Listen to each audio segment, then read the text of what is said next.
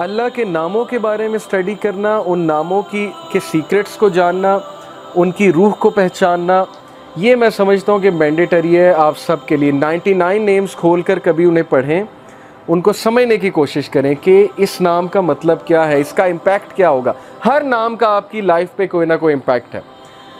अल हकीम का इम्पैक्ट क्या है हमारी लाइफ पे? अल हकीम means the most wise full of wisdom अब हमें सूरह कहफ में एक वाक़ मिलता है कि खज़र सलाम और मूसा इस्लाम जब सफ़र पर गामजन थे तो मूसा इस्लाम ने देखा खज़र इस्लाम ने कश्ती में शगाफ डाल दिया, जिस कश्ती में वो सफ़र कर रहे थे, यानी एक होल क्रिएट किया और कश्ती डूब गई, सिंक कर गई। तो मूसा इस्लाम चूँकि प्रॉफिट थे, नबी थे, उन्हें गुस्सा चढ़ा। उन्होंने कहा, ये आपने क्या किया? ये गरीब आदमी की कश्ती थी, आपने जो है वेस्ट कर दी।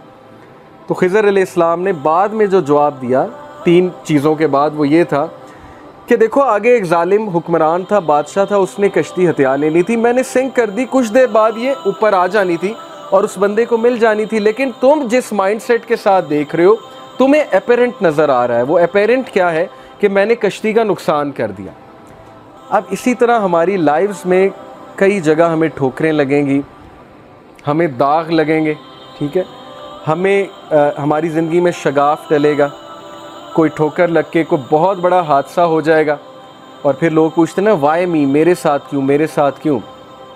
कुछ तो हमारी गलतियाँ होती हैं, बल्कि मेजॉरिटी हमारी गलतियाँ होती हैं। सूर्य यूनस में है chapter ten verse forty four अल्लाह कहते हैं, अल्लाह इंसान पे जुल्म नहीं करता, इंसान खुद जुल्म करता है अपने आप पे डिसीजंस गलत लेके।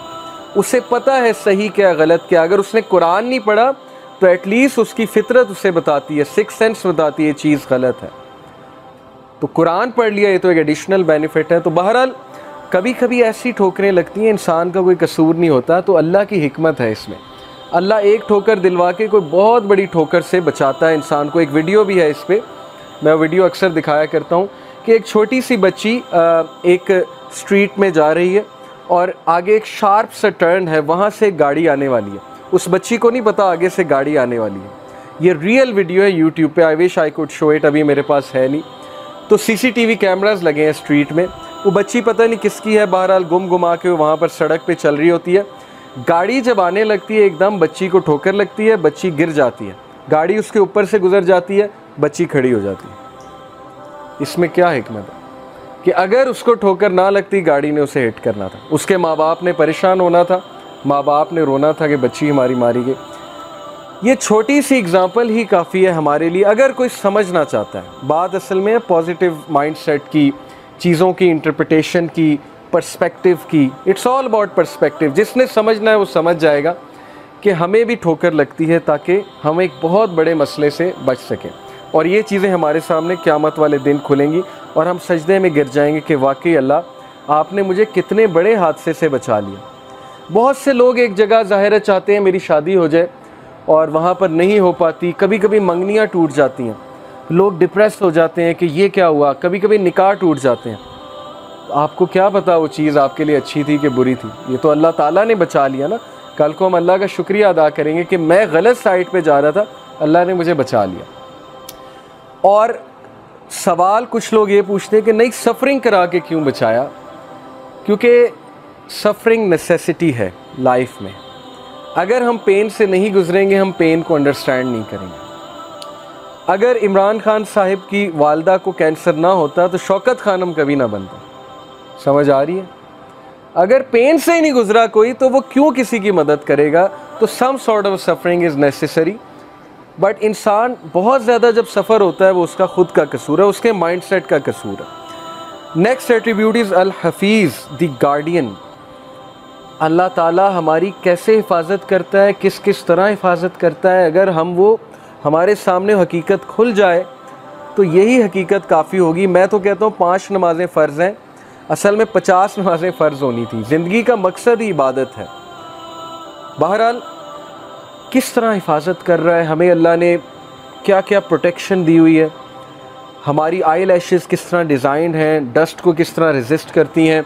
नॉस्ट्रेल्स जो हैं, उनका क्या काम है? हमें छींक क्यों आती है? अगर आप सिर्फ़ इस साइंस में कभी पढ़ लें कि हमें छींक क्यों आती है? वाई डू वी स्नीज़ तो आप अल्लाह का इतना शुक्र अदा करेंगे मैकेनिज़्म है बॉडी का। फिर हमारा इम्यून सिस्टम किस तरह से वर्क कर रहा है? ओके ये अल्लाह ताला ने बनाया, अल्लाह ताला ने दिया है, पहचानो अल्लाह ताला को। ये अल्लाह की क्रिएशन है, अल्लाह ताला की देन है तो अल्लाह आपकी हिफाजत कर रहा है। और फिर ये आया सूरल अनाम की वर्स 59 के not a leaf falls but he knows it पत्ता भी नहीं गिरता, लेकिन अल्लाह को पता है। तो जब पत्ता गिरने का अल्लाह को पता है तो इंसान के गिरने का अल्लाह को नहीं पता होगा, जो कि अल्लाह की बेस्ट क्रिएशन है।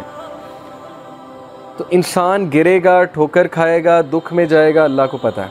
बस एक बार बुला लो अल्लाह को। उस आह में अल्लाह ताला को पुकार लो कि अल्लाह, बस हो गई है। या अल्लाह मदद कर दें। या अल्लाह इस चीज़ से जान छुड़वा दें। या अल्लाह मैं हराम से बचना चाहता हूँ, मुझे बचा लें। या अल्लाह, मैं तंग आ गया हूँ इस ज़िंदगी से, इस लाइफस्टाइल से, मुझे निकाल लें दैट्स इट ये कहने की देर है और अल्लाह टेन स्टेप्स लेंगे। आपने एक स्टेप लिया, आपने एक बात की, अल्लाह ताला टेन स्टेप्स लेंगे। ओके तो पॉजिटिव रहें अल्लाह ताला के बारे में। अल्लाह ताला के बारे में कभी ये ना सोचें, वो आपकी नहीं सुनेंगे।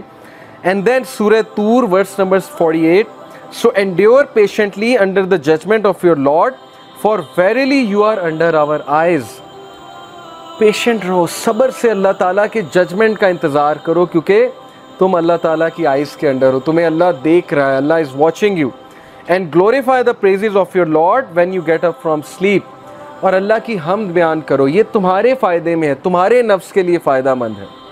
देखें, मुश्किलें तो आनी हैं। अगर कोई इस चीज़ का इनकार कर दे, वो लाइफ की नेचर का इनकार कर देगा कि प्रॉब्लम्स नहीं आनी। Happy go lucky is nothing this is not a true thing कि बस हर वक्त हैप्पीनेस है। मुश्किलें आनी हैं, उन मुश्किलों के लिए तुम्हें स्ट्रेंथ चाहिए। वो स्ट्रेंथ तुम्हें जिस तरह नमाज़ से मिलेगी, दुआ से मिलेगी, किसी और चीज़ से नहीं मिलेगी। थेरेपी से थोड़ी बहुत मिलेगी साइकोलॉजिकल थेरेपी से। हो सकता है किसी की बात सुन के मिल जाए, लेकिन जो स्ट्रेंथ नमाज़ देती है, दुआ देती है, उसका मुकाबला ही कोई नहीं। ये तो आप सबने फील किया होगा, अपनी लाइफ में। तो इसलिए you are under our eyes and glorify the praises of your lord when you get up from sleep यानी नमाज़ अदा करो, अल्लाह ताला से मदद मांगो। अब देखिए, हिफाजत की बात है। कौन है जो रिस्क में डालता है अपने आप को अल्लाह की हिफाजत से? अल हफीज़ अल्लाह हिफाजत करता है। अब हम अपने आप को रिस्क में डालते हैं, कैसे? सही मुस्लिम की हदीस है हु एवर प्रेज फजर is under the protection of Allah so do not fall short with regard to the rights of अल्लाह अल्लाह के राइट्स हैं, नमाज़ अल्लाह का राइट है। We are bound by rights in this world कोई बंदा मुझे ये साबित कर दे, मेरे कोई राइट्स नहीं है, मेरी कोई रिस्पॉन्सिबिलिटीज़ नहीं है। मैं दुनिया में सिर्फ़ इंजॉय करने आया हूँ। ना पेरेंट्स के कोई राइट्स हैं, ना माँ बाप ना फैमिली के कोई राइट्स हैं, ना हस्बैंड के राइट्स हैं, ना वाइफ के राइट्स हैं। मैं गैर जिम्मेदार हूँ, मैंने बस इंजॉय करना है बैठ के। दुनिया में जब हम बाउंड हैं सर्टन राइट्स के साथ तो अल्लाह के भी कुछ राइट्स हैं। और वो राइट ये नमाज़ अदा करो। तो जो कोई फजर नहीं पढ़ता तो फिर सोच लें, इसका काउंटर व्यू ये है, अगर बात ये कि अल्लाह की प्रोटेक्शन में आ जाता है, जो नहीं पढ़ता फिर वो रिस्क करता है इस प्रोटेक्शन को ओके तो फजर जो है वो हमें प्रोटेक्ट प्रोटेक्शन में डालती है अल्लाह ताला के। फिर अल्लाह ताला का एक नाम है अलमुमिन। अलमुमिन का मतलब है the grantor of security, secure करने वाली ज़ात। और जब हम सिक्योर करने वाली ज़ात से इनसिक्योर हो जाएँ तो फिर इससे बड़ी बदकिस्मती और क्या है? जब बच्चे को मार पड़े या जब बच्चे को ठोकर लगे तो वो माँ के पहलू में जाके आपने देखा होगा सिक्योरिटी लेता है। माँ के दामन में जाकर वो हिफाजत लेता है। उसे सिक्योरिटी फील होती है माँ को गले लगा के। पेरेंट्स कितनी बड़ी नेमतें हैं कि नहीं हैं? हमें जिस तरह पेरेंट्स समझ सकते हैं, दुनिया में और कोई नहीं समझ सकता। जैसे आज से कुछ साल पहले एक भाई था, उससे बात हो रही थी। तो उसने कहा कि, अली भाई, मेरे ये ये मसले हैं, लेकिन आप, मुझे डर है, आप जज करेंगे मुझे। मैंने कहा, नहीं, आप खुल के बयान करें, खुल के बताएँ। बहरहाल वो बताता गया बताता गया, हम सुनते गए, मैं सुनता गया। तो बाद में मैंने उसे कुछ काम डाउन किया, कुछ एडवाइस की तो वो इतना हैरान हुआ, कहता, आपने मुझे जज ही नहीं किया। तो मैंने कहा, सोचो, मैं मखलूक हूँ, अगर मैंने जज नहीं किया तो अल्लाह ताला इनफाइनाइट टाइम्स यानी तुम अल्लाह से डरते हो, अल्लाह से बात शेयर करते हुए डरते हो। इंसान तुम्हें जज नहीं कर रहा, अगर तुम्हारा दोस्त अच्छा है, वो तुम्हें जज नहीं कर रहा। तो उस दोस्त का खालिक कौन है? अल्लाह ताला है। तो अलमुमिन सिक्योरिटी कहाँ से लेनी है? अल्लाह से लेनी है। किसके दामन में जाके आपने छुपना है? अल्लाह के दामन में जाके छुपना है। अल्लाह की हिफाजत, सबसे बड़ी हिफाजत है और फिर अल्लाह का ये एट्रीब्यूट अलवकील। अल वकील का मतलब वकालत करने वाला नहीं है। अल वकील का मतलब है डिस्पोजर ऑफ़ अफेयर्स अफेयर्स को डिस्पोज करने वाला। हर चीज़ उसकी इजाज़त से होती है, ख़ास हमत के मुताबिक। उसके पीछे इनफाइनाइट विजडम है जो ह्यूमन बींग्स अंडरस्टैंड नहीं कर सकते। डिस्पोजर ऑफ़ अफेयर्स जिस बंदे का अल्लाह पे ये बिलीफ आ जाए कि सारे के सारे अफेयर्स उसके कंट्रोल में हैं। मेरा कोई कुछ नहीं बिगाड़ सकता। अगर अल्लाह इजाज़त देंगे तो शायद कोई तकलीफ़ आ जाए। नहीं देंगे तो पूरी फ़ौज मेरे ख़िलाफ़ लड़ने आ जाए, मेरा कुछ नहीं बिगाड़ सकती। खालिद बिन वलीद की मिसाल आपके सामने है। साहबा कहते हैं कि वो सफ़े अव्वल में होते थे, अपना घोड़ा दौड़ा रहे होते थे और वो शख्स शहीद नहीं हुआ। लोग जो है वो जिहाद पर देखे ना, उस दौर में डरते थे जाने से कि नहीं, हम तो शहीद हो जाएँगे, हम तो मर जाएँगे। हमें कोई तीर लग गया, कोई तलवार से ज़ख़म लग गया, हम तो मर जाएँगे। खालिद बिन वलीद फौत हुए। खालिद बिन वलीद कहते हैं कि मेरे जिसम में एक भी जगह नहीं जहाँ स्वॉर्ड का निशान, ज़ख़म का निशान नहीं है, लेकिन देखो मैं आम आदमी की तरह मर रहा हूँ। Before his death on his deathbed he said कि बता दो सारे कॉवर्ड्स को। Tell all the cowards of this world कि अगर मौत मैदान जंग में होती, सबसे पहले मैं मरता।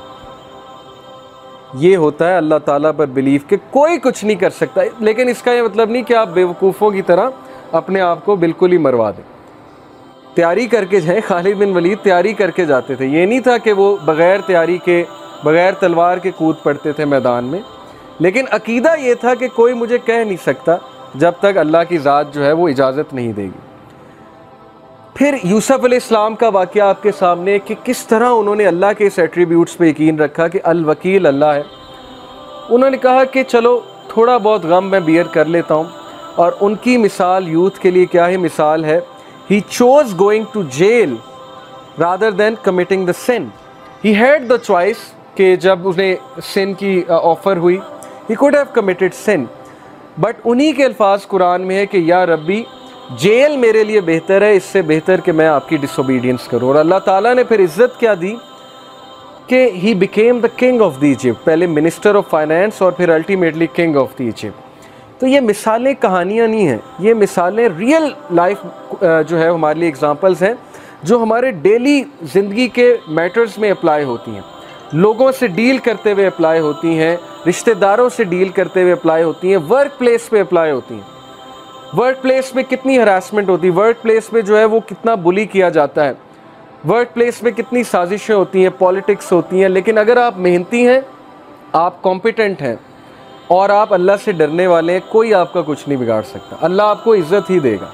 आप ऊपर ही ऊपर जाएँगे तो किसी से डरने की कोई ज़रूरत नहीं। लेकिन ज़ाहिर है कि एक बार बंदा हरास हो बुली हो तो उसके ख़िलाफ़ एक्शन लेना चाहिए। इसका ये मतलब नहीं कि आप एक्शन ही ना लो। तो दैट इज़ अल वकील फॉर यू कि he is the disposer of affairs हर चीज़ उसकी इजाज़त से होती है। अल वदूद अल वदूद का मतलब सिर्फ़ दी लविंग नहीं है। अल वदूद का मतलब है वो ज़ात जो अनकंडीशनल लव करती है। हम दुनिया में कंडीशनली चलते हैं हर एक के साथ। ये बात आप माने या ना माने, कि वो कोई ना कोई यूज़ एसोसिएट होता है, किसी से दिल लगाने का या किसी से दोस्ती करने का। अगर कोई यूज़ नहीं तो ये यूज़ है कि मुझे इसकी कंपनी चाहिए। मुझे इसकी ज़रूरत है। ये भी एक यूज़ है। तो अल्लाह ताला की ज़ात वो हस्ती है, जो इंसान से अनकंडीशनल मोहब्बत करती है। यानी तुम डिसोबे करोगे, तब भी मोहब्बत है, और तुम अबे करोगे, तब भी मोहब्बत है। नॉन मुस्लिम से भी मोहब्बत है। इसीलिए तो मैसेज भेजा, वरना तो कोई गैर जिम्मेदार टीचर होता हो कहता, भाड़ में जाए, नलायक स्टूडेंट मेरा इनसे क्या लेना देना कुछ टीचर्स ऐसे होते हैं ना वो कहते हैं बैक बेंचर ठीक है फेल होते हैं तो हुए, मुझे क्या? तो this is how life is decide कि अल्लाह ने अम्बिया को भेजा, हमें समझ दी कि ये भी मेरे बंदे हैं, इनको जाकर बताओ कि ट्रुथ क्या है, हक क्या है, सच क्या है। तो ये है अल्लाह का अनकंडीशनल लव अल्लाह नॉन मुस्लिम को भी रिस्क देता है और दबा के देता है अगर वो मेहनत करे। ऐसी हस्ती के लिए टाइम ना निकालना, ये फिर इंसान का बहुत बड़ा लॉस है। एंड देन दिस एट्रीब्यूट ये एक आयत मैं आपके सामने रखता हूँ। Verily it is Allah who causes the seed grain and the fruit stone to split and sprout he brings forth the living from the dead and it is he who brings forth the dead from the living कौन है जो बीज में से, नन्हे से बीज में से पौधे को फाड़ता है और निकालता है? सख्त तरीन ज़मीन में से कभी आपने सोचा मिट्टी सख्त होती है, उसमें से कैसे बीज फोर्स करके निकल आता अल्लाह कहते हैं, कौन है? मैं हूँ। तो जब अल्लाह सख्त ज़मीन में से नरम से पौधे को निकाल सकता है तो सख्त हालात में आपको भी मुकाबला करवा सकता है। कितनी मोटिवेशन है। लोग घुटने टेक देते हैं कि नहीं नहीं, मुझ पर मुसीबत क्यों आई, मेरे पे क्यों मसला क्यों आया? क्या पता अल्लाह ने आपसे कोई काम लेना? क्या पता अल्लाह आपको as a soldier and a commander तैयार कर रहा है सोसाइटी के लिए? नबी से ज़्यादा मुश्किलें किस पर आई हैं? एक मुश्किल ख़त्म हुई, दूसरी दूसरी ख़त्म हुई, तीसरी तीसरी के बाद मल्टीपल चौथी, पाँचवीं, छठी। इमेजिन कर सकते हैं आप कि जिस टाइम मैक्सिमम सपोर्ट चाहिए अबू तालिब की, उस टाइम उनकी जो है वो फौत हो जाती। जिस टाइम मैक्सिमम सपोर्ट चाहिए अपनी वाइफ की, उस टाइम वाइफ फौत हो जाती। तो क्या सिखाया नबी सल्लल्लाहु अलैहि वसल्लम को और उनके थ्रू हमें कि सिर्फ़ अल्लाह पे डिपेंड करो। अल्लाह की ज़ात रहेगी कांस्टेंट है। बाकी माँ बाप हैं, वो उन्होंने भी चले जाना है एक दिन, हर किसी ने चले जाना है एक दिन। लेकिन अल्लाह के साथ मामला ठीक है तो फिर अल्लाह माँ बाप के साथ भी मिलाएगा एक दिन, और अल्लाह ताला दुनिया में भी अच्छी ज़िंदगी देगा। तो ये मिसालें हमारे लिए कि डरो नहीं। हम जब पौधे को निकाल देते हैं सख्त ज़मीन से तो हम तुम्हें भी निकाल देंगे किसी डिफ़िकल्ट सिचुएशन से। और फिर ये दो एट्रीब्यूट्स अल्लाह के अल अफू एंड अल हलीम अल अफू का मतलब है दी पार्टनर यानी who will pardon sins no matter how many और हाउ ग्रेट दे आर और बार बार माफ़ करेगा रेपिटेटिवली माफ़ करेगा। लेकिन आप माफ़ी मांगने वाले बने। और अल हलीम द फॉरबियरिंग वन अल हलीम का मतलब है हिल्म वाला फॉरबियरेंस वाला, जो जल्दबाजी में फ़ैसले नहीं करता। जिसके पास बहुत हिकमत है, जो हिल्म के साथ फ़ैसले करता है। दैट इज़ वाई अल्लाह ताला पर डिपेंड करो। अल्लाह ताला से मदद मांगो, इंसानों की बजाय। एंड देन अल मुहिमिन और अल मुहित अल मुहिमिन का मतलब है the watcher over his creatures और आप हैरान हो जाएँगे कि अल्लाह ताला हर इंसान को किस तरह वॉच कर रहा है। Who manage the affairs of his creatures guard them from harm and provide sustenance for all of them this attribute reminds us that God is forever watching over us and doing what is best for us all ये एक अलग बात है कि हम खुद अपने लिए कोई मुसीबत ले आते हैं, लेकिन वहाँ से भी अल्लाह निकालता है। ये मैंने खुद अपनी लाइफ में विटनेस किया है कि बार बार इंसान अपने आप को फंसा देता है एक सिचुएशन में। फिर अल्लाह के पास जाके रोता है कि अल्लाह फंसा बैठे हैं, अब निकाल लें। सारी ज़िंदगी की स्टोरी यही है कि पहले फंसाता है और फिर अल्लाह के आगे जाके रोता है कि अब निकाले और अल्लाह निकालता है। अल्लाह ये नहीं कहता कि दौड़ जा। पहले मैंने निकाला, अब निकाला, अब तीसरी बार फिर आ गए। कोई इंसान होगा, वो कहेगा कि चलो यहाँ से। दस बार तुम्हें समझा दिया बार बार तुम जो है वो, वही मिस्टेक करते हो। तो ऐसी हस्ती को इग्नोर करना ये फिर बहुत बड़ी हमाकत है अल मुहित the encompasser who encompasses all things with his knowledge, power, mercy and dominion. Nothing is concealed from him. कोई चीज़ अल्लाह से कंसील नहीं है वो एनकम्पास करता है हर चीज़ का अहाता किए हुए हैं जैसे कहते हैं ना वला युहीतूना बिशईन मिन इल्मी ही इल्ला बिमा शाह वसिया कुर्सी उसमावाति वलर कि हर चीज़ का अहाता अल्लाह ताला किए हुए हैं। अल्लाह ताला का इल्म हर चीज़ का अहाता किए हुए है। इसलिए अल्लाह से मदद मांगे। किसी से डील करते हुए अल्लाह से मदद मांगे। साहबा छोटी छोटी बातों पे अल्लाह से मदद मांग, मांगते थे। हम ये समझते हैं अल्लाह से मदद मांगनी जब को बहुत बड़ा मसला आ गया। अदरवाइज़ मदद नहीं मांगनी। तो साहबा तो नबी सल्लल्लाहु अलैहि वसल्लम ने सिखाया कि जूते का तस्मा भी अल्लाह से मांगो। आप कभी ट्रैफ़िक में फंसे हैं, छोटी सी चीज़ है। आप अल्लाह से मदद मांगे, अल्लाह ताला निकाल दे। अल्लाह को पसंद आएगी ये बात कि छोटी छोटी चीज़ों पे मुझसे डिपेंड मुझ पर डिपेंड कर रहा है। आपने कोई मेड रखनी है, किसी के साथ डीलिंग करनी है, अल्लाह से मांगे कि अल्लाह, ये अच्छी मुझे सिचुएशन मेरे लिए क्रिएट हो, कोई फ्रॉडिया ना मिले मुझे, कोई ऐसा वैसा बंदा ना मिले जो कल को मुझे नुकसान पहुँचाए। बिकॉज़ अल्लाह अहाता किए हुए है कि कौन अच्छा है, कौन बुरा है। तो अल्लाह से मांगे।